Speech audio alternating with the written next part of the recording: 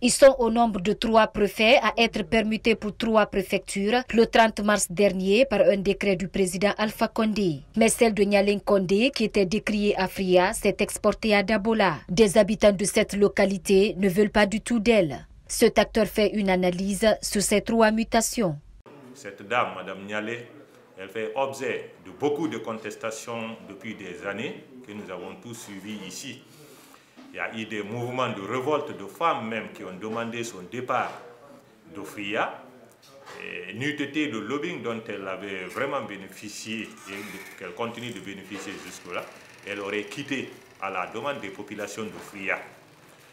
Le deuxième euh, cas, c'est Dingirai, qui est d'ailleurs chez moi. M. Lamarana Diallo, également, bien qu'il n'y ait pas eu des contestations, des soulèvements, la quasi-totalité des populations de Dingirai souhaitaient son départ. Euh, quant à Barbosa Souma, lui, il n'y a pas eu de mouvement. Si Dabola a manifesté contre Nyaling Kondé, c'est parce qu'elle y a laissé un mauvais souvenir en 1998.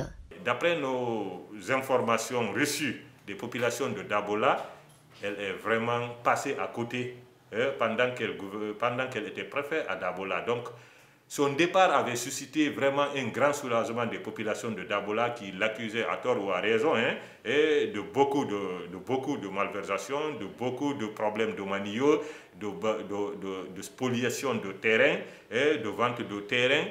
Alors si aujourd'hui, hein, cette dame aussi revient à Dabola, pourquoi Fria? De Fria à Dabola, Éviter la corruption en mettant fin à la sédentarité des fonctionnaires, nommer des jeunes cadres des localités aux postes administratifs, tel est l'appel lancé par cet acteur de la société civile.